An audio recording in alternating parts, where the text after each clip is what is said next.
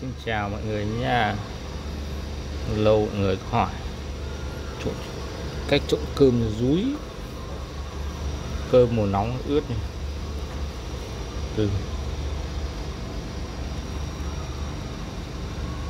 Cơm nước ngủ. Đây là cam gạo. Cam gạo nhá. Tắm ngô. Mùn, mùn cưa bột tre. Trộn thôi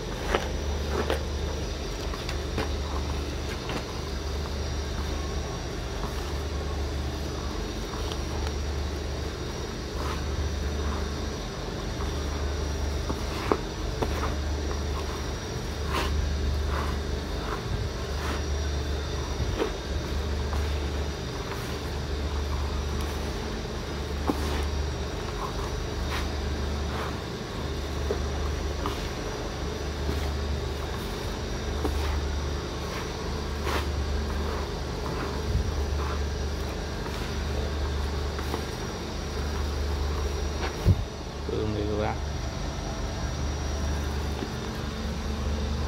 Nét dầu cho chúng nó ăn.